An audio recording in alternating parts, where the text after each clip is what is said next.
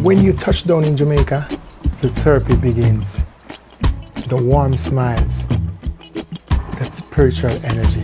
It's like something different. It's out of this world. The feeling, the old spiritual feeling, you feel differently.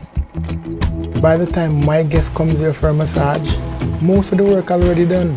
Coming for a massage is just like the icing on the cake. sure, you can get a treatment anywhere in the world, but you got to feel that positive energy for the technique to work. That's what makes us different. That's what makes us unique. That's what makes us Jamaica. We got that positive vibe that people need.